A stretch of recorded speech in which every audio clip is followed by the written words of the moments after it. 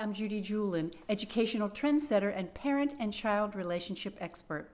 I offer customized solutions for businesses, parents, and blended learning youth, helping multitasked parent employees, their children, their teachers, and their family friendly companies to succeed in reaching their highest potential through a uniquely integrative approach.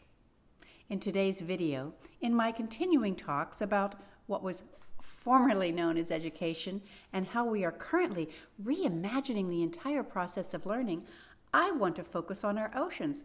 And how lucky am I? I live right near the oceans.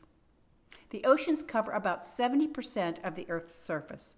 They thus play an important role in the Earth's climate and in global warming. One important function of the oceans is to transport heat from the tropics to higher latitudes. They respond very slowly to changes in the atmosphere. How can you help our oceans? Conserve water. Use less water so excess runoff and wastewater will not flow into the ocean. Reduce pollutants. Choose non toxic chemicals and dispose of herbicides, pesticides, and cleaning products properly. Reduce waste. Shop wisely. Reduce vehicle pollution. Use less energy. Fish responsibly.